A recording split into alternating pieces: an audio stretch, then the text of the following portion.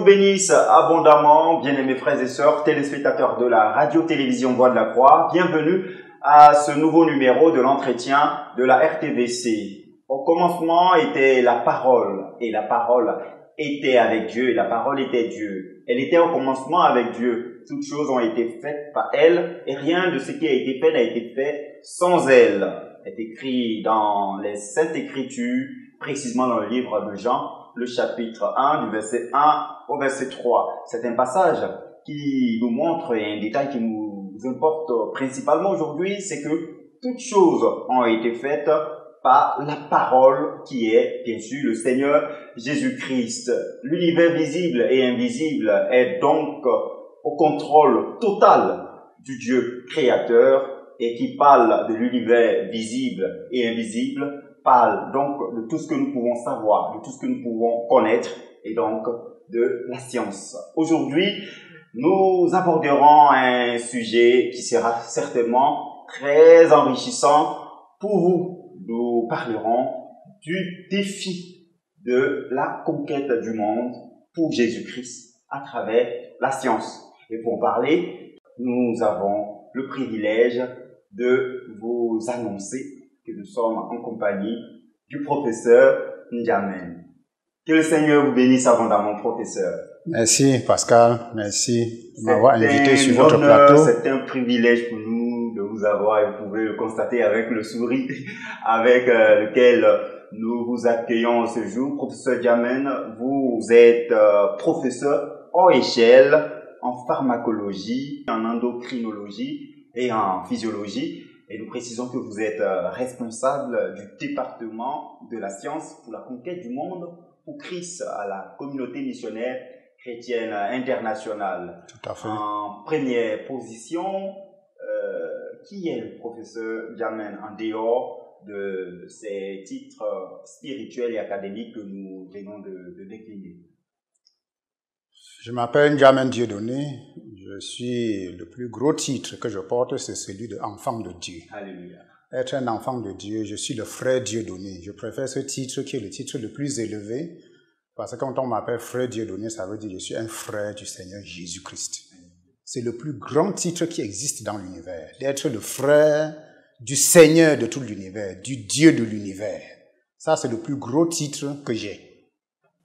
Et professeur Jamen, vous êtes, euh, vous venez de le dire, vous êtes enfant de Dieu. Est-ce que vous pouvez nous partager brièvement, euh, je sais que c'est la plus belle histoire de votre vie, comment est-ce que vous avez rencontré euh, le Seigneur Jésus-Christ? Voilà, je suis né d'une famille qui n'était pas une famille chrétienne du tout. Je suis né d'une famille polygame. Mon papa était polygame de six femmes. Et dans la concession de mon père, qui était un notable, dans une tribu à l'ouest du Cameroun, la tribu Bamileke, personne n'allait à aucune église, ni catholique ni protestant. C'est dans cette famille que j'ai grandi. Entendant tout le temps, étant un peu habitué à la culture des ancêtres. Parce que dans la tribu de mon père, il y a la culture des ancêtres. Dans leur cosmologie, ils croient que les ancêtres sont des dieux, ou tout au moins qui sont auprès de Dieu après leur mort.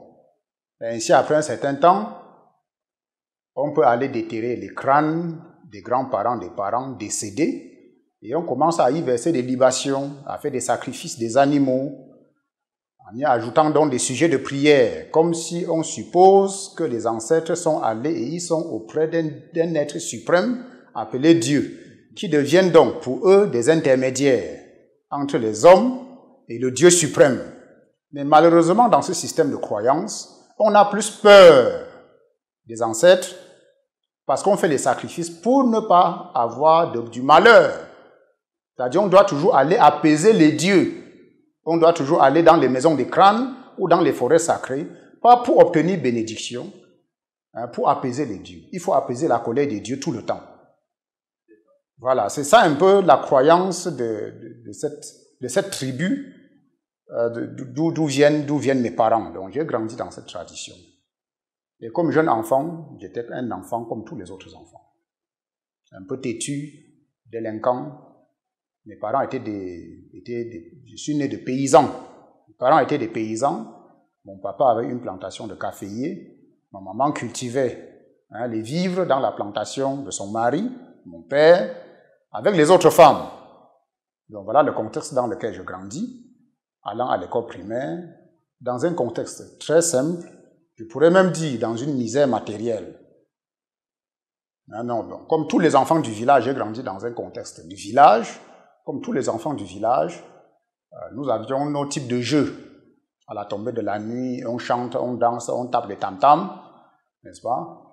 Et puis on a l'habitude de commencer à être un peu délinquant, à aller voler les prunes, voler les cannes à sucre, des choses dans les champs des voisins. Bien sûr, à partir de l'âge de 13 ans, 14 ans, 15 ans, avec la puberté qui vient, s'ajoutent d'autres péchés, la convoitise du sexe opposé, la convoitise des filles, ainsi de suite. J'ai grandi avec mes parents au village jusqu'à l'âge de 15 ans. C'est quand j'obtiens le BEPC, à l'âge de 15 ans, que je dois me déplacer du village pour aller à 20 km de mon village, au chef-lieu du département, pour continuer mes études au lycée. Mais chaque week-end, ou presque chaque week-end, je suis de retour au village.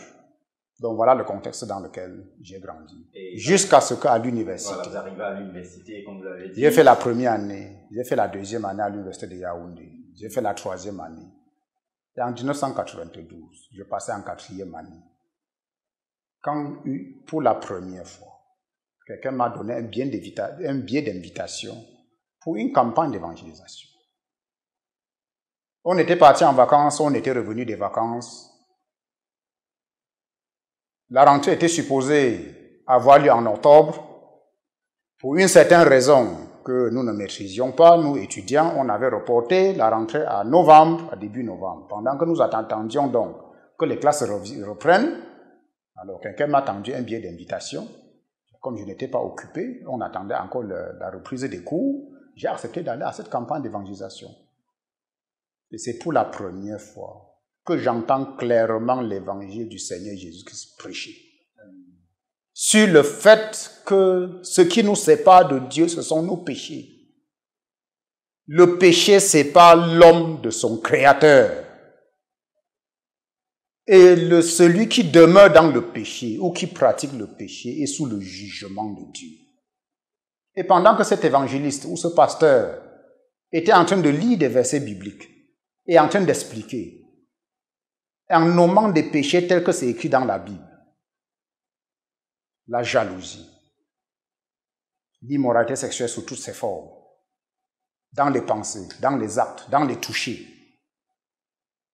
le vol sous toutes ses formes, celui qui a volé la canne à sucre, qui a volé les prunes, qui a volé de l'argent ou qui a fait des détournements, celui qui sait son frère est un meurtrier, comme l'a dit le Seigneur Jésus-Christ pendant qu'il déroulait donc tous ces péchés qui font de nous des ennemis de Dieu, qui font de l'homme un ennemi de Dieu, je me suis reconnu dans plusieurs péchés. Dans plusieurs péchés, que ce soit l'idolâtrie, l'adoration des ancêtres, le culte des ancêtres que nous faisions au village avec les parents et que nous défendions parce que c'était la culture de nos ancêtres. Je me suis retrouvé maintenant en train de me dire, alors, c'est une pratique qui est contre le vrai Dieu, qui est contre le vrai Dieu vivant, qui est contre mon Créateur. Parce qu'il y a un seul Dieu. Et il y a aussi un seul médiateur entre Dieu et les hommes, Jésus-Christ. Quiconque cherche à avoir un autre médiateur est contre Dieu. Même si ce médiateur est supposé être un pasteur ou un saint, Dieu il, y a un, il y a un seul Dieu, il y a aussi un seul médiateur entre Dieu et les hommes, Jésus-Christ. Quiconque établit notre médiateur, que ce soit Marie, que ce soit Joseph, que ce soit un ange, est en train de pratiquer de l'idolâtrie. Alors quand j'ai compris, quand j'ai bien compris cela, j'ai dit, j'ai pratiqué l'idolâtrie. Nous étions en train de pratiquer l'idolâtrie. Et puis dans Exode, Dieu dit, je punirai l'iniquité des parents sur les enfants jusqu'à la troisième et la quatrième génération de ceux qui pratiquent l'idolâtrie. Et ce n'était pas le seul péché. J'avais presque 22 ans, un jeune étudiant. Le film de ma vie et les péchés que j'avais commis, la délinquance, les injures, les insultes, la jalousie, la haine, le manque de pardon, qui était dans le cœur, avoir, avoir souhaité quelque chose de mal arriver à quelqu'un parce qu'il m'a offensé, c'est le meurtre. Alors j'étais face à mes péchés. La convoitise sexuelle, avoir convoité les, les filles, avoir baratiné les filles, avoir fait la cour aux filles, m'être rendu dans les, les anniversaires et autres, et boîtes de nuit, et avoir embrassé les, les filles ou les femmes qui ne sont, aucune d'elles, je n'étais pas marié. C'était de l'immoralité. Alors j'étais touché. Et quand le pasteur, vers la fin de son, de son sermon, a dit, mais Dieu ne nous condamne pas. Ce que Dieu veut, c'est que le péché se répande et qu'il vive. Nous tu peux avoir la vie éternelle, elle est gratuite, mais elle est personnelle. Le prérequis, c'est que tu confesses et que tu abandonnes tout péché dans ta vie. C'est ça qu'on appelle la repentance. La repentance, c'est confesser et abandonner le péché. Et venir à Jésus-Christ qui est mort sur la croix pour nos péchés. Et supplier le pardon. Afin que par son sang versé sur la croix, nous soyons lavés de nos péchés. Nous soyons purifiés de nos péchés. Nous soyons justifiés et que nous soyons sanctifiés. Alors on peut le recevoir dans nos cœurs et dans nos vies comme notre, notre Seigneur, notre Sauveur personnel, et avoir l'assurance de la vie éternelle. Quand le pasteur a expliqué tout ça, vers la fin de son sermon, il a lancé l'appel.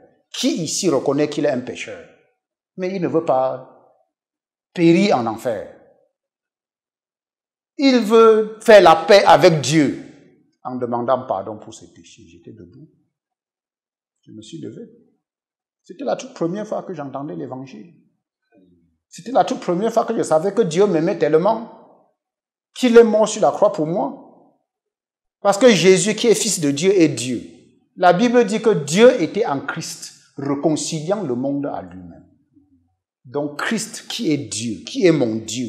Vous avez bien fait de citer le passage de Jean chapitre 1, verset 1 à 3. Jésus-Christ est notre Créateur. Au commencement était la parole. La parole était auprès de Dieu et la parole était Dieu. Et c'est cette parole qui a créé tout ce qui existe. Donc en fait, quand on parle du Dieu créateur, nous sommes en train de parler de Jésus-Christ. C'est lui qui est mon créateur, même tellement que malgré le fait que je suis son ennemi par mes péchés et mes offenses, est mort sur la croix pour moi. Refuser un tel salut, c'est être insensé refuser un tel salut pour un peu de, pour un peu de plaisir, pour jouir pour un certain temps du plaisir du péché, c'est être insensé. J'ai une image que j'utilise souvent. Le péché, c'est comme un bonbon empoisonné. Il a certes peut-être un petit goût sucré dans la bouche, mais s'il contient un poison, celui qui le suce, suce pour mourir. C'est ça le péché. C'est ça le plaisir éphémère que donne le péché. C'est ça le plaisir éphémère que donne le péché sexuel. C'est ça le plaisir éphémère que donne le péché de vol ou de détournement d'argent. C'est ça le plaisir éphémère que donne la corruption. Un peu d'argent qui peut vous soulager pour le moment. Mais la finalité, c'est la perte de votre âme. C'est la mort de votre âme et la souffrance éternelle en enfer. Alors ce jour, quand le pasteur a lancé l'appel à la fin de son sermon, qui veut avoir la vie éternelle que Jésus-Christ donne? Et qui est prêt à confesser, à abandonner tout péché sans laisser un seul. J'étais debout. J'étais debout pour me réconcilier à mon Dieu. J'étais debout pour me réconcilier au Créateur. Pour lui confesser mes péchés. Non seulement les confesser, mais prendre l'engagement de les, de les abandonner une fois pour toutes. Et lui dire, Seigneur, me voici. Purifie-moi par ton précieux sang sanctifie-moi, justifie-moi, fais de moi un enfant de Dieu, et tiens-moi par la main et conduis-moi toute ma vie, jusqu'à ce que tu reviennes me chercher, pour m'amener au ciel, là où tu te trouves. Je ne veux pas périr en enfer. C'était ça le décret dans ma vie. Au mois de novembre 1992, j'étais un jeune étudiant à l'université. Voilà comment je suis venu à Christ. Et depuis ce jour, Maintenant, nous sommes à plus de 29 ans, bientôt 30 ans, de la marche avec le Seigneur Jésus-Christ. Je ne peux regretter que les années que j'ai passées sans le connaître. tout mon regret, c'est d'avoir commis le péché avant de connaître le Seigneur Jésus-Christ, à l'âge de 21 ans. C'est cette vie passée-là que je regrette. Le Seigneur Jésus-Christ est bon, il est sucré. J'ai l'habitude de dire à ceux qui m'écoutent, ou quand je prêche l'évangile, je ne me suis jamais considéré comme un homme religieux. Je n'ai jamais été religieux. Et je n'appelle personne à la religion. J'appelle tout homme à une relation personnelle avec le Seigneur Jésus-Christ. J'appelle tout homme à une connaissance. La connaissance de Jésus, la connaissance qui sauve. J'appelle tout homme à une connaissance salvatrice du Dieu créateur, du Seigneur Jésus-Christ. Je n'appelle personne à une forme de religion, mais à une relation personnelle avec le Seigneur Jésus-Christ. Notre Seigneur et notre Sauveur. J'ai déjà passé presque 30 ans de cette marche dans la foi. Je ne regrette pas. Alléluia. Si j'avais à recommencer aujourd'hui, je choisirais encore le Seigneur Jésus-Christ. Alléluia. Nous nous réjouissons pour ce témoignage qui est très édifiant.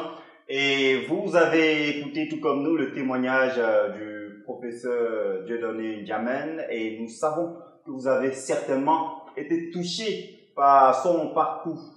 Comment est-ce qu'il vivait et comment est-ce qu'il a rencontré Jésus-Christ, vous avez pu savoir donc comment on quitte de la vie du péché et de la vie de la religiosité sans Christ pour devenir authentiquement un disciple du Seigneur Jésus-Christ. Nous vous souhaitons donc d'emprunter ce même chemin. Nous vous invitons à nous appeler au numéro qui s'affiche au bas de l'écran si vous voulez euh, expérimenter la même chose que le professeur a expérimenté pour vous aussi être transféré du royaume des ténèbres jusqu'au royaume de lumière de notre Seigneur Jésus-Christ, le seul sauveur, et ainsi sortir de la religiosité et avoir une relation personnelle avec lui et être un enfant authentique de Dieu, délivré du péché et sauvé. Nous attendons vos appels et toutes vos préoccupations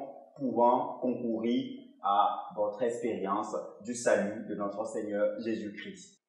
Ok, professeur, comme nous venons de le dire, vous l'avez même dit d'entrée de jeu, votre plus grande joie et votre titre le plus précieux, c'est le fait d'être enfant de Dieu et cela a été clairement euh, relaté et nous savons donc d'où vient cette fierté-là d'être euh, enfant de Dieu ben, d'entrée de jeu, nous vous avons présenté comme étant professeur hors échelle en pharmacologie, en endocrinologie et en physiologie.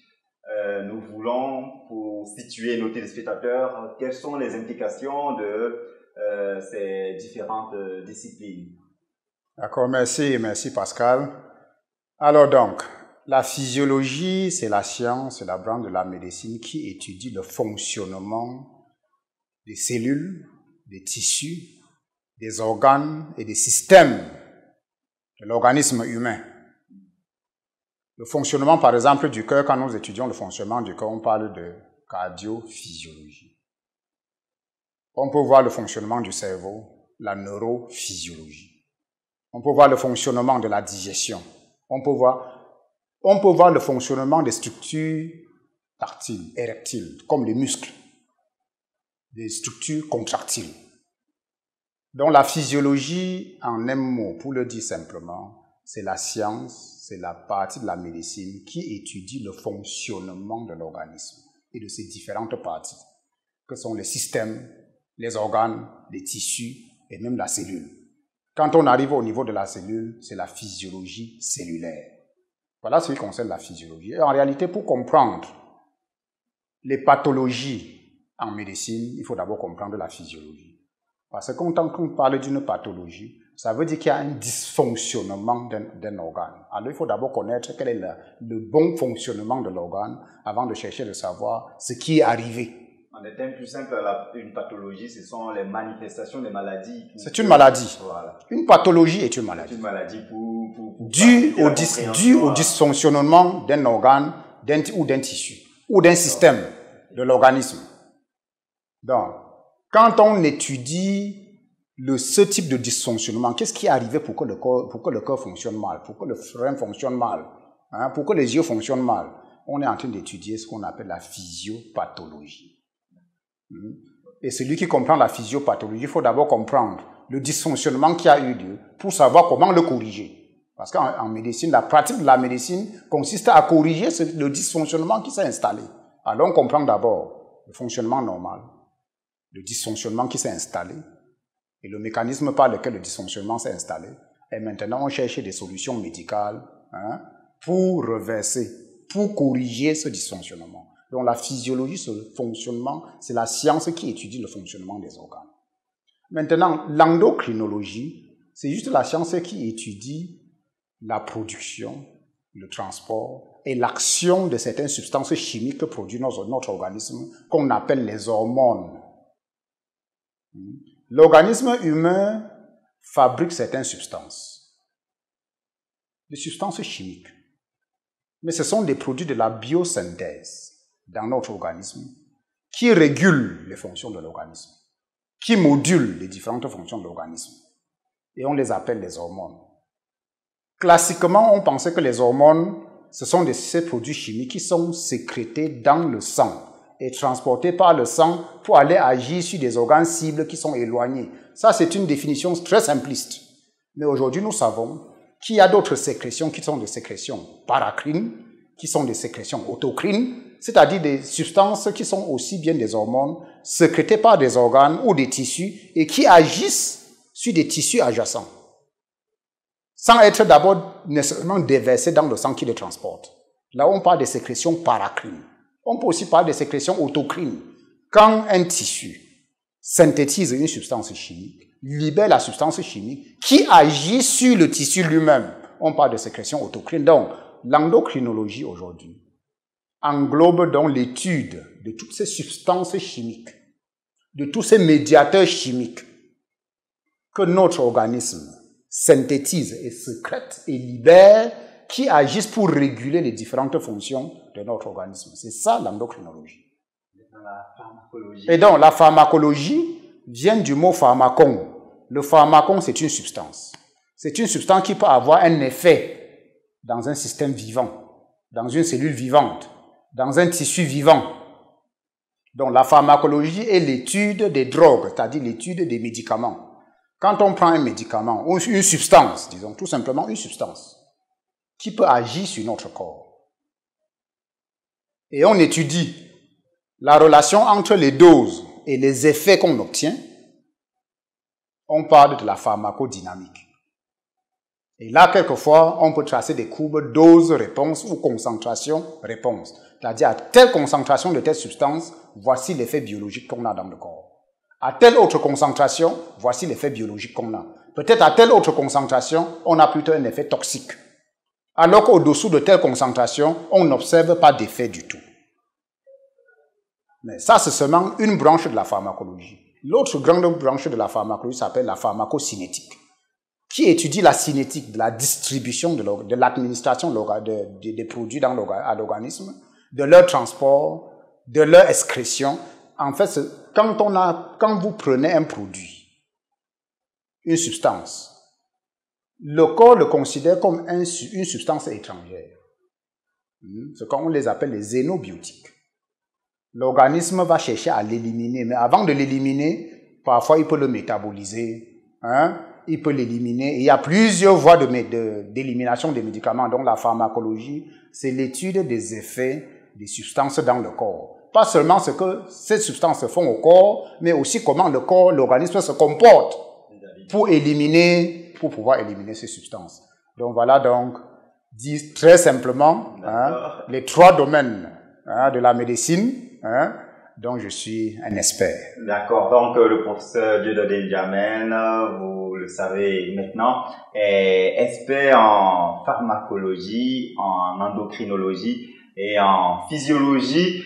Et nous pensons qu'il y a une corrélation avec le point que nous allons aborder. Le professeur Diamène est le responsable du département de la conquête du monde par la science au niveau de la communauté missionnaire chrétienne internationale. C'est une notion, c'est un département qui est indissociable à un point tournant de votre vie que nous ne pouvons pas euh, dont nous ne pouvons pas laisser pour faciliter la compréhension de, de, de ce dont nous sommes en train de parler aujourd'hui.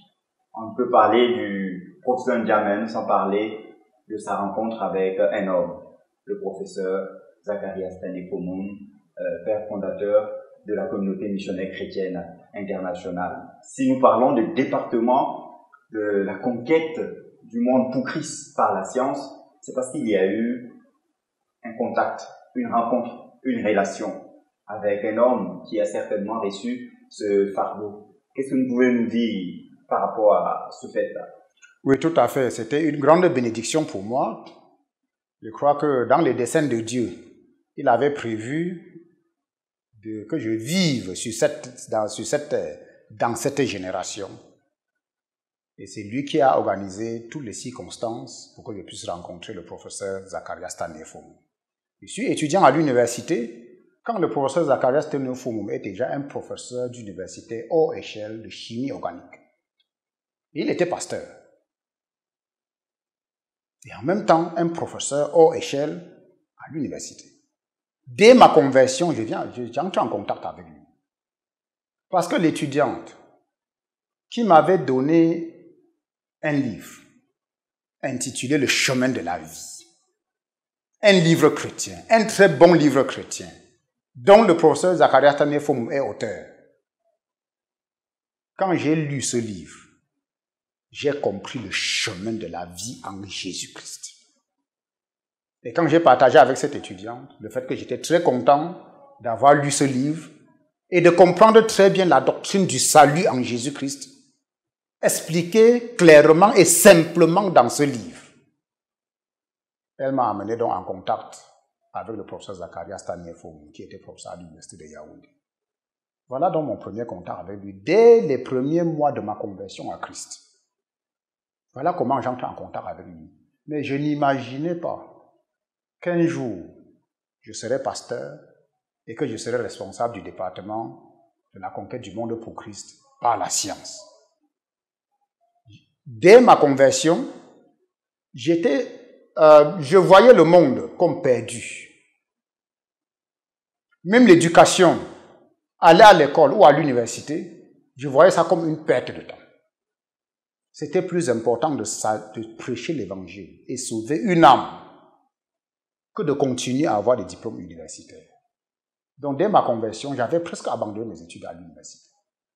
Je peux seulement dire gloire à Dieu parce que cet homme de Dieu, le professeur Zacharias Tanefo, un jour m'a dit, a dit à celui qui me suivait dans la foi, que nous appelons souvent le faiseur de disciples, qui en ce moment-là, en tant que jeune étudiant, celui qui était mon conseiller spirituel, comme on appelle dans certains cercles, ou mon mentor spirituel, comme les autres appellent, ou mon faiseur de disciples, comme nous appelons à la CMCI, c'était le pasteur Théodore Andossé. Un jour, le professeur Fomum lui dit, fais que ton disciple, que ce jeune disciple de Christ retourne à l'école. Précisons que le pasteur euh, Théodore Andossé est actuellement le leader mondial, je dirais le leader international de la communauté missionnaire chrétienne internationale. Tout à fait. En ce moment-là, il était juste un dirigeant, un pasteur dans l'église de Yaoundé. Et c'était lui qui était le pasteur qui me suivait. Hmm? Mon conseiller spirituel, hein? mon mentor spirituel, mon faiseur de disciples, quel que soit comment vous voulez appeler. C'est ça. Et donc, le professeur Fomon lui avait dit que ce jeune disciple retourne à l'école. Parce que comme je vous ai dit, après ma conversion, j'avais vu le monde perdu. Les gens sont en train de courir derrière l'argent, en train de courir derrière des diplômes, en train de courir pour jouir de telle ou de telle chose dans cette vie. Et moi, je voyais que la tâche la plus noble et la façon la plus noble pour quelqu'un d'investir sa vie, c'était de prêcher l'évangile et d'amener les hommes, les femmes, les enfants, les adultes et les papas à la conversion à Christ. Parce que comme dit la Bible, à quoi servirait-il à un homme de gagner le monde entier s'il perd son âme? Donc dès ma conversion, je ne voulais vraiment plus entendre parler de l'école. Je ne voulais plus faire l'école. J'avais déménagé de ma chambre, presque déménagé de ma chambre à l'université pour aller, habiter chez le pasteur Théodore Anderson. Pour me donner totalement à sortir chaque jour pour aller prêcher l'évangile. Gloire à Dieu. Un jour, le professeur Fomum, le pasteur Fomum, qui était encore vivant, dit que ce jeune homme retourne à l'école. Parce que Dieu m'a accordé une révélation. Que selon ses desseins dans sa vie, il faut que ce jeune homme devienne un académicien pour le royaume de Dieu. Voilà comment je suis retourné à l'école. Si aujourd'hui je suis un professeur haut échelle, ce n'est pas parce que j'avais regardé le titre de professeur comme une proie qu'il fallait que j'attrape, qu'il fallait que j'arrache. Parce que nous ne pouvons pas ajouter au CV du Seigneur Jésus-Christ. Nous ne pouvons pas ajouter à son CV. On ne peut pas apporter un titre du monde pour ajouter au CV du Seigneur Jésus-Christ. Il est le Seigneur de l'univers. Il n'a pas besoin que nous lui ajoutons quelque chose. Il n'a pas besoin que nous lui collions un diplôme ou un titre mondain. Donc je suis retourné à l'école parce que j'ai cru l'homme de Dieu, parce que j'ai cru le prophète qui a dit, Dieu m'a révélé que ce jeune homme doit retourner à l'école. Parce que Dieu a dit, il sera un académicien pour le royaume de Dieu. Voilà comment je retourne à l'école. Et donc j'ai continué l'école, j'ai continué, comme je vous ai dit, j'ai eu une première thèse en endocrinologie et diabétologie à l'université de Cologne, au CHU de Cologne en Allemagne. Puis j'ai eu une deuxième thèse en pharmacologie et développement des, médicaments à base de substances naturelles à l'université de Valencia en Espagne. J'ai été recruté à l'université de Yaoundé comme assistant puis chargé de cours, puis j'ai changé de grade pour devenir chargé de cours, ce qu'on appelle dans le système CAMES un maître assistant. Puis quelques années plus tard, j'ai passé l'agrégation, je suis devenu maître de conférence. Et encore quelques années plus tard, je suis devenu professeur titulaire. Et quand je suis passé professeur titulaire, c'était d'abord professeur titulaire de première classe. N'est-ce pas? Quelques temps après, à cause de mes travaux scientifiques, j'ai atteint le grade de professeur, de professeur titulaire de classe exceptionnelle en 2019. Et en mai, et le 28 mai de l'année en cours 2021, j'ai atteint le sommet de l'académie. Professeur titulaire au échelle. Mais donc, celui qui, qui m'inspire, qui me prend comme un fils, qui me prend comme un fils académique, qui me prend comme un fils spirituel et qui me dirige dans la foi et qui apporte la parole de Dieu dans ma vie, c'est le professeur Zacharias Tane Fong. Sans lui, j'aurais abandonné les études et j'aurais dit, c'est suffisant si je peux prêcher l'évangile toute ma vie et amener une seule personne à la conversion en Christ pour que son âme ne se perde pas j'aurais mené une vie épanouie. D'ailleurs, jusqu'aujourd'hui, c'est ma plus grande joie de prêcher l'évangile et voir un, un misérable pécheur qui vient à son sauveur, qui rencontre le Seigneur jusqu'à son sauveur, qui lui donne son cœur, qui lui donne sa vie et qui subitement tu vois une joie sublime, une paix intérieure, telle que lui-même a dit, une paix qui surpasse toute intelligence, remplit tout son être. Il n'y a rien qu'on puisse donner à un homme en dehors du salut. Donc devenir académicien, c'était l'appel de Dieu. C'est parce que Dieu a voulu. Et Dieu l'a dit plusieurs fois, au travers de mon, de mon père spirituel, le professeur Zacharias Tanefomu, que Dieu veut que tu sois un académicien pour le royaume de Dieu. Et par la grâce de Dieu, cette prophétie c'est, je dirais, pleinement accompli. Vous venez de nous en donner la preuve et les détails pratiques. Nous parlons donc de la conquête euh, du monde pour Christ par la science.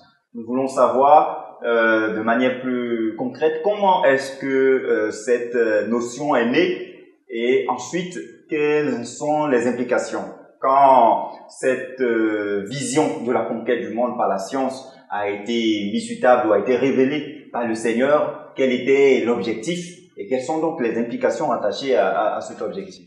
D'accord, merci pour cette question qui a plusieurs volets. Le premier volet, d'où vient que dans une œuvre spirituelle, dans un ministère spirituel, on est un département de la science pour la, pour la conquête du monde pour Christ. Euh, le professeur Fomum, je voudrais dire, n'est pas resté professeur d'université de lui-même. Sa première vocation, c'était de prêcher l'évangile et d'amener des hommes, des multitudes, à connaître leur sauveur, à marcher avec lui, pour lui, en lui, lui rendant une obéissance complète en toutes choses.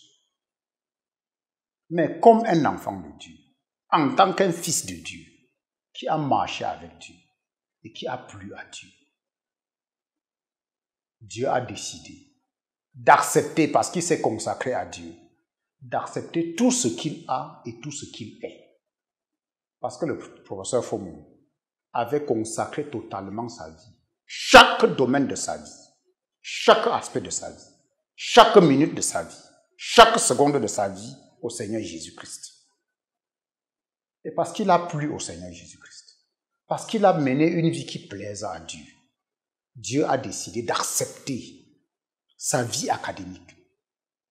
Tout simplement comme Dieu accepte le bâton de berger de Moïse. Quand Moïse vient au Seigneur, le bâton qu'il a en main représente sa profession de berger.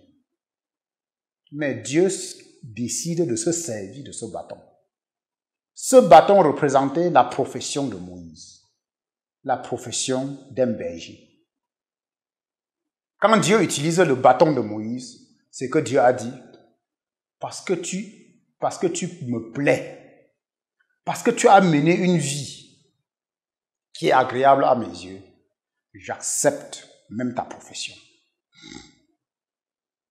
pour qu'elle soit utile pour mon royaume. C'est ce qui est arrivé à professeur. Je peux vous prendre un autre exemple de la Bible.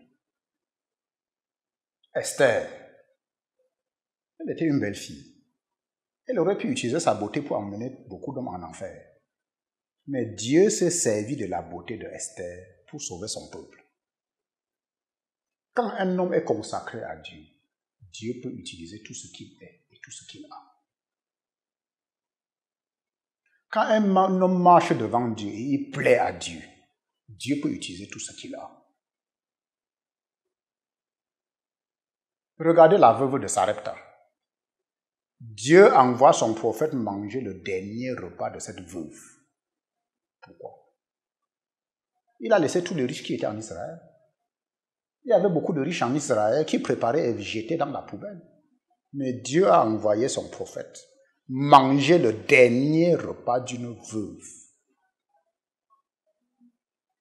Quand quelqu'un plaît à Dieu, quand quelqu'un cherche Dieu, quand quelqu'un trouve Dieu, quand quelqu'un marche avec Dieu, et il fait de Dieu sa joie sublime. Dieu peut utiliser, ça peut plaire à Dieu d'utiliser tout ce qu'il est et tout ce qu'il a. Voilà l'histoire de cet homme, le professeur Zacharias Tane Fong. Parce qu'il a utilisé la science pour honorer Dieu, pour glorifier le Seigneur Jésus-Christ. Vous savez, tout à l'heure, si vous voulez, vous pouvez ouvrir une parenthèse sur le fait que certaines personnes utilisent la science pour montrer que Dieu n'existe pas. Ça n'a pas commencé aujourd'hui. Nimrod, à la tour de Babel, avait déjà tenté d'utiliser la technologie pour construire une tour qui atteint le ciel, pour se bâtir un nom. Et peut-être aussi qu'il la tour voulait atteindre le ciel pour qu'il prouve qu'il n'y a pas de Dieu. Donc ce n'est pas aujourd'hui que les gens font la science pour défier Dieu. Ça existe depuis que le monde existe. Mais ceux qui connaissent Dieu, ils savent que Dieu, le Seigneur Jésus, que c'est le Seigneur de la science. Parce que toutes choses ont été créées par lui et pour lui. Comme c'est dit dans Colossiens. La nature, c'est la nature de Dieu.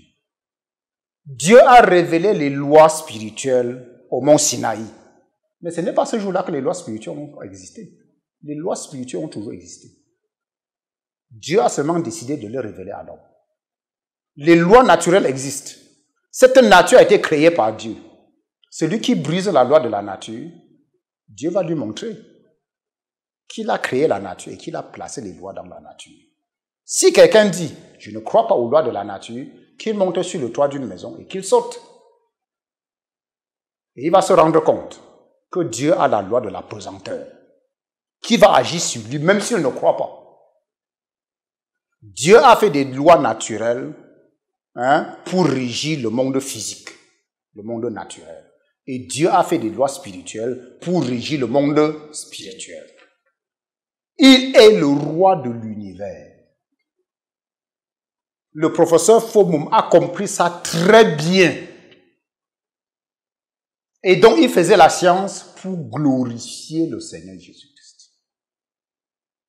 Il faisait la science pour élever le Dieu de l'univers, qui est le maître de la science. Même ses découvertes scientifiques, il doit ça à Dieu. Parce que même la Bible dit, les choses cachées sont à Dieu, mais les choses révélées sont à nous et à nos, et à nos enfants.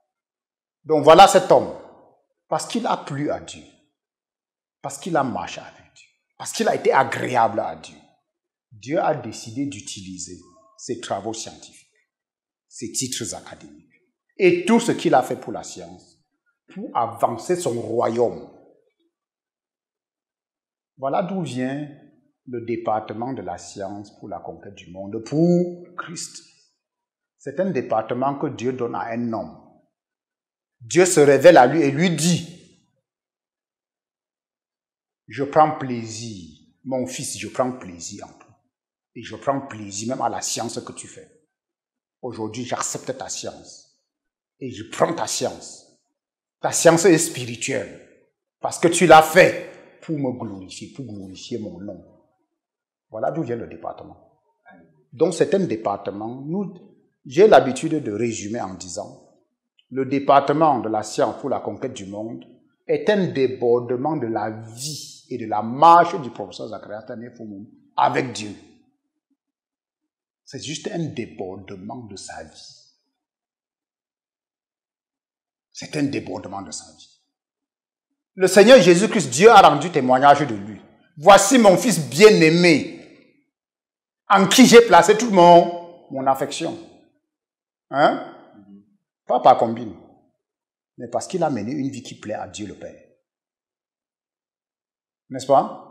Et parce qu'il a mené une vie qui plaît à Dieu le Père, Dieu a même utilisé sa salive pour opérer les miracles de guérison. Quand un homme plaît à Dieu, Dieu peut utiliser tout ce qu'il est, tout ce qu'il a. Quelqu'un pourrait lire ça dans la Bible. Et il crée son église où on crache sur les gens et personne n'est guéri. Dieu ne s'est pas engagé à utiliser la salive de tout le monde. Mais Dieu peut utiliser la salive de son Fils parce qu'il mène une vie qui lui plaît. Le Seigneur Jésus-Christ lui-même a dit, mon Père qui m'a envoyé ne m'a laissé jamais seul. Parce que je fais toujours ce qui lui plaît. Parce que je fais toujours ce qui lui plaît. Dieu le Père qui m'a envoyé ne m'a jamais laissé seul parce que je fais toujours ce qui lui plaît. Quand un homme plaît à Dieu, Dieu peut utiliser tout ce qu'il a et tout ce qu'il est. Dieu n'est pas un mendiant.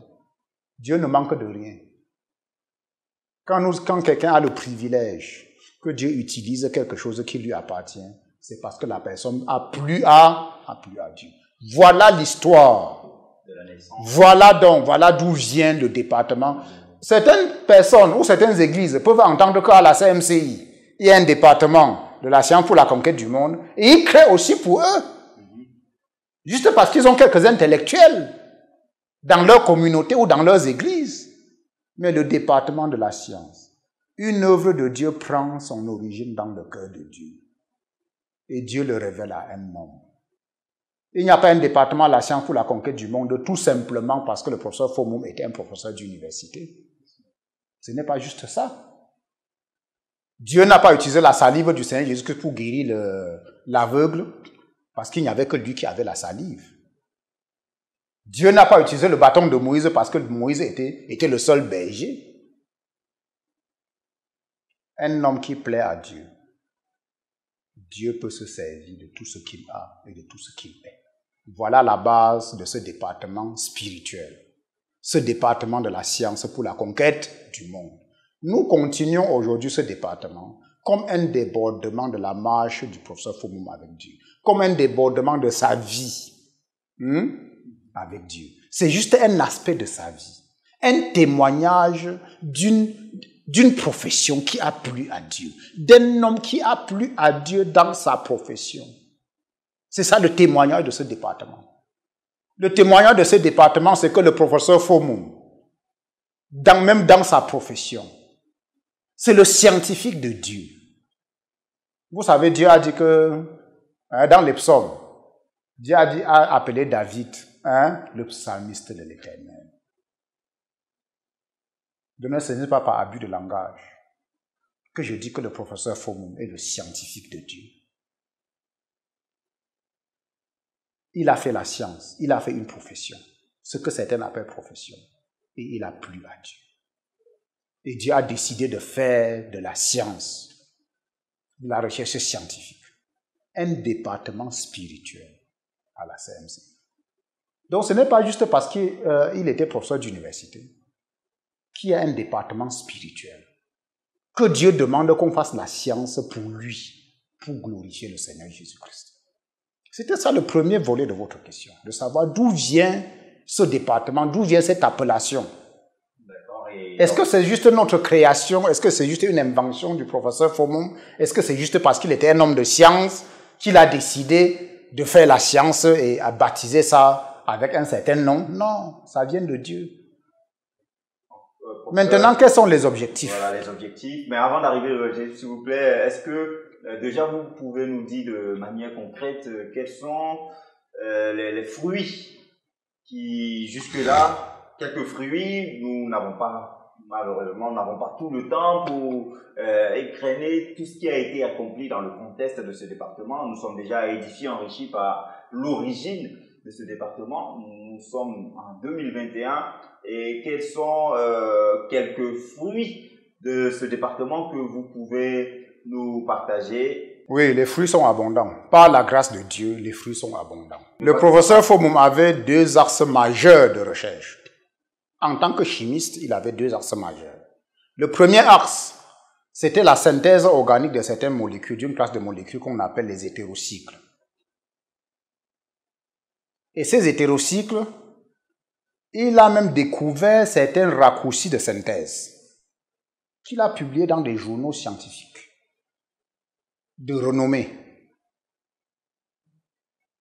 Les journaux scientifiques de renom, il a publié, le professeur Fomum, à son actif de son vivant, a publié plus de 150 articles scientifiques originaux dans les plus grands journaux du domaine de la science, du domaine de la chimie. Donc, des académiciens savent, quand on parle de 150 articles scientifiques originaux, publiés dans les journaux de renom. Ils comprennent ce que ça veut dire. Sur le plan pratique, il y avait donc la synthèse des hétérocycles qui était un axe. Et le deuxième axe de recherche, c'était sur l'isolement, la caractérisation chimique, la caractérisation pharmacologique des substances naturelles. je voudrais vous dire qu'il a fait la synthèse des hétérocycles. Et Dieu, pour lui montrer qu'il est Dieu, le Dieu de la science, l'a conduit par révélation à travailler sur certaines plantes médicinales. Les érythrina, les plantes du genre érythrina, les plantes du genre Miletia. Et de ces plantes, le professeur Fomum a isolé des hétérocycles naturels. Hein? des hétérocycles qui sont des produits de la biosynthèse dans les plantes. Et ces molécules ont plusieurs types d'applications. On peut les appliquer en pharmacie, on peut les appliquer en médecine, on peut les appliquer comme les cosmétiques, on peut les appliquer même comme les nutri, comme les alicaments, on peut les appliquer même dans l'agriculture. Plusieurs applications. Parlant donc des applications, puisque vous, vous, posez, la question sur les, sur les fruits, c'est qu'actuellement, à partir des travaux de recherche du professeur Fomou, nous avons développé, mis au point plusieurs médicaments à base de substances naturelles. Certains médicaments contre certains types de cancers, des médicaments contre les malaises de la ménopause, sont des substances naturelles qui peuvent se fixer sur le récepteur aux oestrogènes récepteurs oestrogènes de type alpha, récepteurs oestrogènes de type bêta, il y a des produits qui peuvent se fixer hein, sur le récepteur GABA, sur le récepteurs dans le système nerveux. Ce qu'on appelle la voie GABAergique hein, pour le traitement des convulsions et des épilepsies. Il y a des applications au niveau du système reproducteur. Ceux qui souffrent d'hypoandrogénie, ceux qui souffrent de faiblesse sexuelle, ceux qui souffrent de, hein, de troubles, de troubles érectiles, il y a des composés qui ont été isolés, qui permettent donc de résoudre ce, genre, de, ce genre de problème. Donc à ce jour, pour ce que nous avons pu développer, et ce n'est pas exhaustif, parce que nous avons, nous avons pu développer ce que l'équipement que nous avons nous permet de développer, nous sommes à plus d'une vingtaine de produits qu'on peut utiliser en médecine humaine. Et ce n'est pas tout. Je précise que la vingtaine de substances ou la vingtaine de médicaments, c'est seulement avec la limitation actuelle que nous avons des équipements qui sont disponibles. Parce que si nous voulons vraiment étaler et voir l'application des différentes molécules qui ont été isolées par le professeur Fomou, nous serons à plus de 100 médicaments qu'on peut développer à partir de, ces travaux de recherche.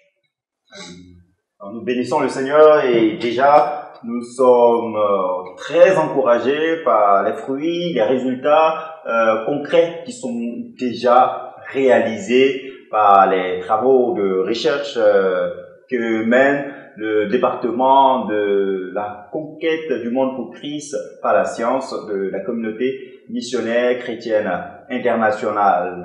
Professeur, si vous en parlez, euh, c'est parce que c'est un besoin d'actualité et c'est une urgence pour notre génération. Vous l'avez signifié dans vos propos tout à l'heure. Beaucoup sont ces personnes en général, mais ces jeunes qui ont l'habitude de, de penser qu'il y a une antagonie entre la science et euh, la foi chrétienne authentique. Vous l'avez même euh, précisé dans votre témoignage. Il est arrivé cette époque où vous vous êtes dit qu'il fallait se consacrer à l'évangélisation euh, plutôt qu'à chercher des solutions pratiques pour résoudre certains problèmes que confronte le monde actuel, étant donné que, selon les Écritures, le monde est perdu et ira de pire en pire. S'il faut donner un message pour inviter euh, la jeunesse chrétienne à s'intéresser à ce talent, à cette vision de la conquête du monde pour Christ par la science, qu'est-ce que vous, pouvez dire? Je voudrais mentionner déjà, Pascal, que le professeur Fomum n'est pas le seul homme de foi. Il n'est pas le seul dirigeant spirituel chrétien qui était un homme de science. Blaise Pascal était un homme de, était un homme de foi. J'ai le privilège d'être son homo. Blaise Pascal était un homme de foi et un homme de science. Il n'y a pas de dichotomie. Dieu est le Seigneur de la science. Le tourneau, qui a inventé les machines des caterpillars et de ces gros engins, était un homme de foi. J'ai lu son témoignage, j'ai lu son autobiographie, rédigée par lui-même, où il dit, dans son entreprise à midi, il arrêtait tout pour prêcher l'évangile. Et les conceptions des machines, il les recevait par révélation du Saint-Esprit. Si Dieu n'était pas le Dieu de la science, comment l'Esprit de Dieu peut révéler la mécanique? Comment l'Esprit de Dieu hein, peut révéler la construction mécanique à un enfant de Dieu? Si Dieu n'était pas le Dieu de la science. Parce que le tourneau lui-même dit que parfois il rentre de l'évangélisation, il y a un moteur qui le dérange. Cherchez l'autobiographie de, Le Tourneau. Quand il s'asseyait pour faire les dessins, pour essayer de comprendre pourquoi cette machine ne marche pas, le Saint-Esprit l'enseignait.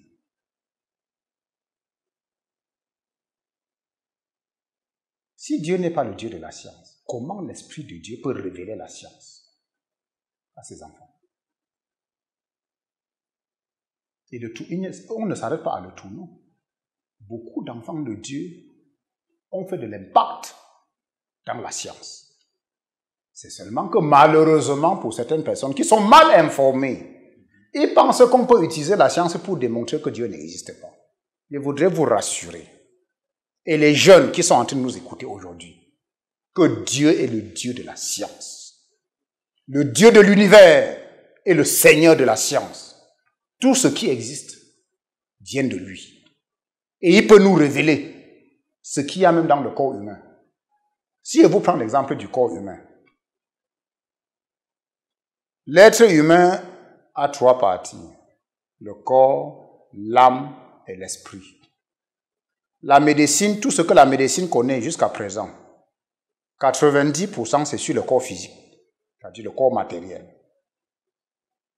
Il tente, la médecine tente, par la psychiatrie, à toucher l'âme de l'homme. Mais l'esprit de l'homme est totalement étranger à, à tout ce qu'on appelle la médecine. Toute la médecine moderne, la médecine conventionnelle, ne peut pas toucher l'esprit de l'homme. Pourquoi? Parce qu'il travaille sur ce qui est, sur le matériel, sur ce qui est visible. Et de plus en plus, en médecine, nous parlons de la médecine holistique. C'est-à-dire que la meilleure médecine est la médecine holistique. Il faut prendre l'homme dans toute sa dimension, sa dimension spirituelle, hein, dans la dimension de son âme et dans la dimension de son corps physique, pour comprendre d'où viennent ses problèmes la médecine qui veut se concentrer sur le corps physique et essayer de manipuler le visible pour démontrer que l'invisible n'existe pas, va juste se perdre. Il ne saura même pas où il va. Donc je suis désolé, ceux qui pensent qu'on n'arrivera pas à la physique, pas à la physique quantique, à démontrer que Dieu n'existe pas. Ça n'arrivera pas. Sinon, cette population qui était partie de l'Est, comme nous dit la Bible, à la tour de à Babel, qui étaient peut-être les descendants ou alors les sujets hein, de Nimrod, qui était un chasseur devant Dieu. Un chasseur devant Dieu veut dire qu'il voulait détourner les hommes de Dieu. Et ils ont commencé à cuire les briques. Ils utilisaient le bitume pour construire. Leur but, c'était quoi? C'est que la tour atteigne le atteigne le ciel, un, par orgueil, pour se faire un nom. Et je suppose qu'il voulait atteindre le ciel pour montrer que Dieu n'existe pas. Mais Dieu est descendu pour les visiter, pour montrer quelle était la folie, et les a dispersés. Essayer d'utiliser la science pour montrer que Dieu n'existe pas, c'est la folie. C'est insensé. Au contraire, le vrai homme de science, il supplie pour que Dieu lui révèle, pour que l'Esprit de Dieu lui donne la révélation de ce que Dieu a. Si un physicien veut comprendre les astres, il n'a qu'à demander à Dieu qui a créé. S'il veut comprendre ce qui se trouve dans la boule du soleil et qui produit la lumière avec une telle chaleur, il n'a qu'à demander au Créateur. Qui peut lui révéler s'il veut parce que les choses cachées sont à Dieu et les choses révélées sont à nous et à nos, à nos enfants. Si je veux comprendre les différents types de molécules et les voies de biosynthèse de ces molécules dans une plante, je n'ai qu'à demander à Dieu qui a créé. Et Dieu peut donner la sagesse, il peut donner la révélation pour comprendre. Et si nous revenons à la médecine, mon cher Pascal, chaque être humain est unique. Vous et moi, nous sommes assis ici, et à l'intérieur de nos organismes, en ce moment, à chaque instant, il y a plus de 3000 réactions biochimiques en cours. Et les réactions biochimiques qui y a en cours, qui a en cours dans mon organisme, sont totalement différentes des réactions biochimiques qu'il y a dans votre organisme. Donc chaque être humain et chaque patient est unique. C'est pour ça qu'une molécule peut marcher chez moi et la même molécule ne marche pas chez vous. Parce que chaque être humain est unique. Essayez d'utiliser n'importe quel type de science pour essayer de montrer. C'est juste l'impiété. Rien d'autre. C'est juste de l'impiété. C'est juste essayer de défier Dieu. Je vais vous dire, je vais vous raconter une autre Dans la Bible, Dieu a dit qu'il fallait circoncire l'enfant au huitième jour, n'est-ce pas? Ça ne fait pas longtemps. Les collègues, les, collègues qui font hématologie, en étudiant toutes les molécules qui sont dans le sang, qui permettent la coagulation du sang, se sont rendus compte qu'après la naissance d'un bébé, c'est justement au huitième jour que toutes les substances, les plasminogènes et autres, sont en quantité suffisante dans le sang pour que la circoncision n'entraîne pas l'hémorragie jusqu'à la mort du bébé. Qui avait raison de demander qu'on circoncise les enfants au huitième jour C'est Dieu. Parce que lui qui a créé l'être humain a su que c'est au huitième jour que la quantité de plasminogènes est suffisante, que la quantité des autres facteurs de coagulation du sang sont suffisants pour qu'on puisse circoncire un enfant et il ne meurt pas d'hémorragie. La science ne fera que confirmer ce que Dieu a dit. La science n'ira jamais contre ce que Dieu a dit. Si c'est la vraie science.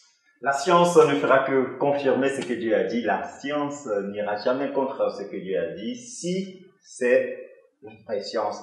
Et ce sont des vérités qui nous montrent donc euh, que la science n'appartient pas aux ennemis de Dieu, mais plutôt aux enfants de Dieu. Et les enfants de Dieu doivent se rassurer que l'orientation véritable, l'orientation pardon correcte à la science soit effectivement donnée à toute euh, cette euh, création qui attend avec euh, un Adam la révélation et la manifestation des fils de Dieu comme il est écrit dans le livre de Romains. Je suis convaincu, professeur, qu'après avoir écouté tous ces détails, plusieurs jeunes se posent donc la question de savoir euh, comment est-ce qu'il peut se joindre à ce mouvement pour participer à l'hégémonie de cette euh, conquête du monde pour le Seigneur Jésus-Christ par la science. Donc, Avant qu'il cherche à adhérer à notre mouvement chrétien, il faut qu'il comprenne d'abord quels sont les objectifs de ce département. Nous faisons la science. Dieu nous a appelés à la CMCI à faire la science. Premièrement, pour glorifier le Seigneur Jésus-Christ, qui est le Seigneur de la science? Donc, pour faire la science pour Dieu, il faut d'abord reconnaître que Dieu est le Seigneur de la science. Le Seigneur de l'univers est le Seigneur de la science. Et nous faisons la science pour le glorifier, pour l'exalter, pour élever son nom. Ça, c'est le premier objectif de ce département de notre mouvement. Le deuxième, c'est que le Seigneur Jésus-Christ est venu sur cette terre pour une seule raison. Sa première venue, c'était pour le salut de l'homme perdu. C'était pour le salut de l'humanité perdue. Ce qui le tient à cœur en ce moment, c'est le salut de l'homme. C'est ce que nous appelons l'entreprise de l'évangile. Donc le deuxième objectif de notre mouvement, même, à la, même au département de la science pour la conquête du monde, c'est pour avancer nous, utilisons nos travaux de recherche que nous déposons au pied du Seigneur Jésus-Christ et nos titres académiques et tout ce que nous faisons en science pour avancer l'entreprise de l'Évangile. Tout homme qui vit sur la terre maintenant, sa vie n'a de sens que s'il investit sa vie dans l'entreprise de l'Évangile. Rien d'autre. Aucune autre chose n'intéresse Dieu pour le moment. Aucune autre chose n'a de fardeau dans le cœur de Dieu pour le moment. Ce qui l'intéresse maintenant. Jésus qui s'est venu pour chercher et sauver ce qui était perdu. Tout ce qui tient Dieu à cœur maintenant, c'est que les hommes soient sauvés. Ce que Dieu veut, c'est que tous les hommes soient sauvés et parviennent à la connaissance salvatrice du Seigneur Jésus-Christ, dont la science, nos titres académiques, c'est pour avancer l'entreprise de l'Évangile dont le Saint-Esprit est le directeur, l'Esprit de Christ. Le troisième objectif de ce mouvement, de notre mouvement, c'est manifester la miséricorde de Dieu vis-à-vis de l'être humain qui est sa créature. La Bible nous apprend que Dieu est un Dieu miséricordieux et compatissant. Dans la manifestation de la miséricorde de Dieu vis-à-vis de ses créatures, vis-à-vis de l'homme, pendant son pèlerinage sur la terre, c'est que nous voulons, par l'Esprit de Dieu, apporter des solutions scientifiques pour réduire les souffrances humaines, pour réduire la misère de l'homme pendant son pèlerinage sur la terre. Nous pouvons apporter des solutions scientifiques à certaines maladies et à certains fléaux. Ce sont certes des solutions temporaires, ce sont certes des solutions fugaces, mais c'est une manifestation de la miséricorde de Dieu. Le Seigneur Jésus-Christ, pendant sa vie sur la terre, a manifesté beaucoup de miséricorde. Le Dieu le Père, en guérissant les malades, sachant bien qu'il a dit qu'ils allaient encore mourir. Il a guéri les malades. Il a délivré les gens qui étaient sous l'emprise des démons et qui étaient en train de souffrir. Par la science, nous voulons aussi manifester, apporter la manifestation de la miséricorde de Dieu à l'être humain, qui est la créature de Dieu, qui croit ou qui ne croit pas encore en Dieu son créateur. Si nous avons des solutions scientifiques, c'est pour l'homme, avec un grand H. C'est pour l'homme, celui qui a déjà reconnu Seigneur Jésus-Christ comme son Seigneur et son Sauveur. Et même celui pour qui nous sommes encore en train de prier, pour qu'ils reconnaissent et qu'ils acceptent le Seigneur Jésus-Christ comme son Seigneur et son Sauveur. Voilà donc les trois axes majeurs. Récapituler, glorifier Dieu. Glorifier le Seigneur Jésus-Christ qui est le Seigneur de la science. Deux, faire avancer l'entreprise de l'évangile parce que c'est l'entreprise qui tient Dieu à cœur en ce moment, c'est le salut de tous les hommes.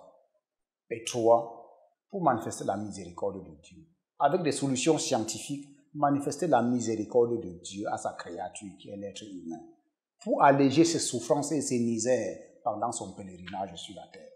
Alléluia. Et face donc à ces objectifs, quel est l'appel que vous lancez à tous les jeunes gens, en particulier, mais en général, à toute l'Église par rapport à ce défi de la conquête du monde pour Christ à travers la science qui doit être coûte que coûte relevé dans notre génération. le premier appel que je lance, lance aux jeunes, c'est que chaque jeune doit d'abord, premièrement, être réconcilié à son Dieu s'il ne l'est pas encore. Tant qu'un jeune n'est pas encore réconcilié à Dieu par Jésus-Christ, notre Seigneur et notre Sauveur, il ne saura pas quels sont les desseins de Dieu attachés à sa vie. Aucune créature de Dieu n'est un hasard. Jean-Baptiste disait, le Seigneur Jésus-Christ a dit, je suis né et je suis venu dans ce monde pour rendre témoignage à la vérité. Il connaissait ce pourquoi il est venu dans ce monde. Et Jean-Baptiste a dit, je suis la voix de celui qui crie dans le désert. Dieu n'a créé personne au hasard. Mais nous n'allons pas connaître, personne ne doit connaître le dessein de Dieu. C'est pourquoi Dieu l'a créé et envoyé sur cette terre, dans cette génération-ci, s'il n'est pas d'abord réconcilié à Dieu. En abandonnant tout péché et en venant à Jésus-Christ le Seigneur et le Sauveur. Ça, c'est le premier appel que je lance à tous les jeunes. Ceux qui ont déjà reçu cet appel, gloire à Dieu. Ceux qui ne l'ont pas encore reçu, ils devraient s'empresser de le faire. Sinon, ils seraient en train de gaspiller leur vie sans savoir ce pourquoi Dieu les a envoyés sur cette terre. Maintenant, pour ceux qui connaissent déjà le Seigneur Jésus-Christ, s'ils sont, sont impliqués dans la science, qu'il n'y ait pas de dichotomie dans leur cœur, qu'il n'y ait pas cette dichotomie que j'avais avant, quand je venais de croire, de penser que la science, c'était une perte de temps. Non. Le Seigneur est le Seigneur de la science. Ils peuvent par la science contribuer à ces trois objectifs majeurs que nous avons cités tantôt glorifier le Seigneur Jésus-Christ, avancer l'entreprise de l'Évangile et manifester avec des solutions scientifiques la miséricorde de notre Dieu à l'être humain pendant son pèlerinage sur la terre. Et pour le faire, il faut d'abord qu'il soit un enfant de Dieu. Parce que toute œuvre que nous voulons donner à Dieu, étant hors de connexion avec lui, n'est qu'un vêtement souillé, comme a dit, comme a dit Esaïe. Quand nous sommes déconnectés de Dieu, toute notre justice devant Dieu n'est qu'un vêtement souillé. Maintenant, quand nous sommes connectés à Dieu, nous pouvons chercher à tout faire pour, pour sa seule gloire. Et donc, si un jeune, un croyant, un enfant de Dieu, un disciple de Christ est dans la science, n'importe lequel des domaines de science, sciences juridiques, sciences de l'éducation, sciences humaines, hein? sciences de l'ingénieur, médecine, Sciences de l'information et sciences, voilà. Et qui veut utiliser cette science pour avancer l'entreprise de l'évangile, pour glorifier le Seigneur Jésus-Christ, il est bienvenu pour faire partie de notre mouvement. C'est un mouvement chrétien, c'est un mouvement des enfants de Dieu, c'est un mouvement de ceux qui reconnaissent la Seigneurie du Seigneur Jésus-Christ dans leur cœur de façon quotidienne. Et qui vivent pour plaire au Seigneur Jésus-Christ, qui vivent pour plaire à Dieu, et qui vivent pour sanctifier son nom dans leur vie. Alors ils sont bienvenus. D'accord. Pasteur, qu'il y euh, est-ce qu'il y a une procédure particulière pour donc euh, intégrer le mouvement de la conquête euh, du monde pour le Seigneur Jésus-Christ par la science Il se fait tout simplement recommander par son pasteur. Je ne peux pas connaître tous les membres de la CMCI. Nous sommes des millions dans le monde maintenant. S'il est ivoirien, il se fait recommander par le pasteur Boniface Meunier pour dire voici un disciple du Seigneur Jésus-Christ, voici un enfant de Dieu qui veut vivre pour glorifier le Seigneur Jésus-Christ, qui est dans tel domaine de science et qui veut utiliser sa science pour les objectifs que Dieu nous a donnés dans notre mouvement. Alors il est enrôlé pour devenir membre de notre mouvement de la science pour la conquête du monde pour Christ. Que son pasteur le recommande pour dire, puisque le seul prérequis, c'est d'être un enfant de Dieu. C'est d'avoir Jésus-Christ comme son Seigneur et son Sauveur. Et d'être engagé, quel que soit son domaine de science. Science de l'ingénieur, science de l'éducation, sciences juridiques, sciences humaines, médecine, pharmacie, tout ce qui est science. Et qui dit, étant un enfant de Dieu, étant un disciple du Seigneur Jésus-Christ, j'adhère totalement aux objectifs de notre mouvement de la conquête du monde pour Christ par la science, et je viens, je viens pour me donner totalement pour que ces objectifs soient atteints. Et donc, comme euh, je ne peux pas connaître tous les jeunes dans la CMCI, et c'est un mouvement qui n'est pas limité à la CMCI. Quelques, quelques enfants de Dieu, de quelque communauté que ce soit, qui est véritablement disciple du Seigneur Jésus-Christ, et qui est un homme de science, et qui veut faire la science pour Christ, peut se faire recommander par son pasteur. Et nous travaillons ensemble pour atteindre ces objectifs que je viens de définir. Gloire à Dieu. Donc, euh, toutes les informations sont données. Nous tenons à rappeler à nos téléspectateurs que nous sommes au cours de cet entretien en train de développer le sujet du défi de la conquête du monde pour le Seigneur Jésus-Christ par la science. Nous sommes euh, avec le professeur Ndiamen Dieudonné qui est euh, le responsable de ce département à la communauté missionnaire chrétienne internationale. Le professeur Ndiamen est professeur hors échelle en pharmacologie, en endocrinologie et en physiologie. Nous avons parlé d'entrée de jeu de euh, l'origine de ce mouvement de la conquête euh, du monde par la science pour le Seigneur Jésus-Christ. Le professeur n'a pas manqué de rappeler que tout commence à partir d'un cœur qui plaît à Dieu, étant donné que Dieu est engagé à utiliser tout ce qui appartient à ceux qui lui plaisent. Donc la première des choses, c'est de plaire à Dieu et de satisfaire Dieu dans tous les aspects de sa vie. Et tout comme Dieu a utilisé le bâton de Moïse qui était berger pour que Moïse le serve de cette même manière, Dieu a utilisé la science du professeur Zacharias Tane Pomum qui également lui a plu dans tous les aspects de sa vie. Et c'est cet appel de Dieu, ce plaisir de Dieu qui a débouché sur la naissance de ce mouvement de la conquête euh, du monde pour Christ par la science qui est en train d'être perpétué par le professeur Diamen qui est actuellement le responsable de ce département. L'appel a par la suite été lancé par le professeur invitant tous les jeunes d'abord qui croient au Seigneur Jésus-Christ, qui sont engagés à glorifier Dieu a fait avancer l'entreprise de l'évangile et aussi a manifesté la miséricorde de Dieu à travers la science en vue de résoudre tous les problèmes que les hommes peuvent rencontrer dans le monde ambiant. Si vous remplissez toutes ces conditions, vous êtes apte à faire partie de ce mouvement qui certes appartient à la communauté missionnaire chrétienne internationale, mais qui est ouvert à toute personne qui est effectivement disciple de Jésus-Christ appartenant à d'autres communautés. Il faudra juste vous faire recommander à votre pasteur.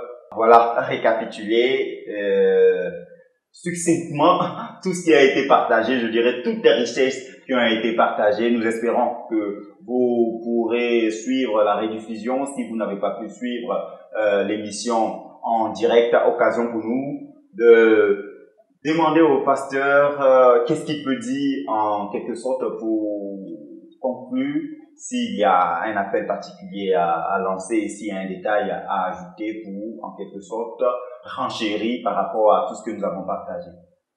Non, je terminerai en disant tout simplement que tout être humain qui vit et qui ne vit pas pour Dieu est en train de gaspiller sa vie. Qu'il soit un homme de science, ne soit pas un homme de science, si sa vie n'est pas vécue pour glorifier le nom de Dieu, pour sanctifier son nom, il est en train de vivre inutilement.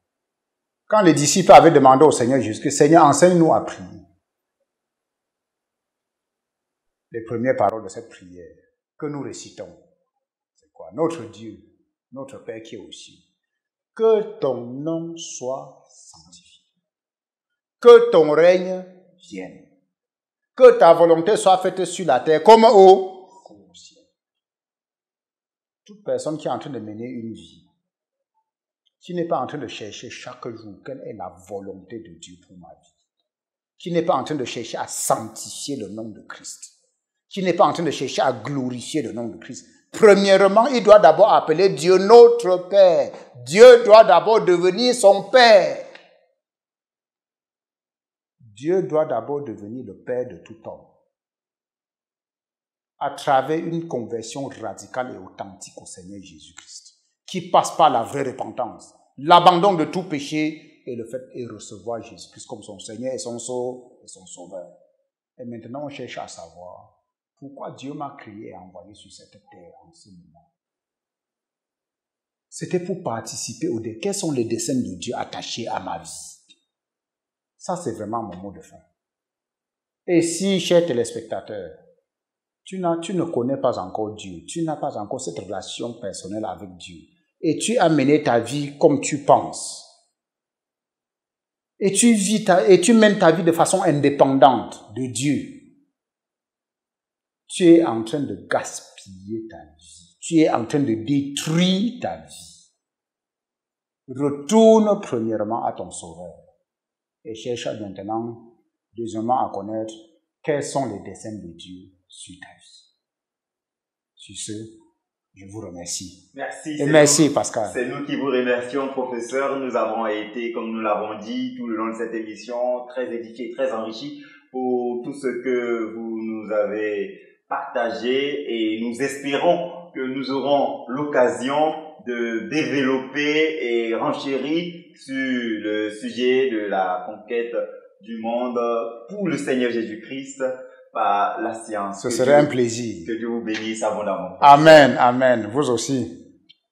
Voilà, chers téléspectateurs, ce fut un honneur, un plaisir pour nous de passer ces temps d'antenne avec vous en compagnie du professeur Dieudonné Diamen, responsable du département de la conquête du monde par la science de la communauté missionnaire chrétienne internationale. Et bien sûr, nous avons développé au cours de ce numéro le sujet du défi de la conquête du monde pour le Seigneur Jésus-Christ par la science. Nous osons espérer que vous avez été enrichis et bénis par cet entretien. Nous vous donnons rendez-vous pour un autre numéro. Que Dieu vous bénisse abondamment et comme le professeur l'a dit, Veillez à ce que chaque instant de votre vie soit consacré à satisfaire la volonté de Dieu dans tous les aspects du thème et surtout veillez à ce que chaque aspect et chaque seconde, minute et heure qui passe concourt à l'accomplissement du but pour lequel Dieu vous a créé. Que Dieu vous bénisse abondamment et restez connectés sur les antennes de la radio-télévision Voix de la Croix, la chaîne de la Bible.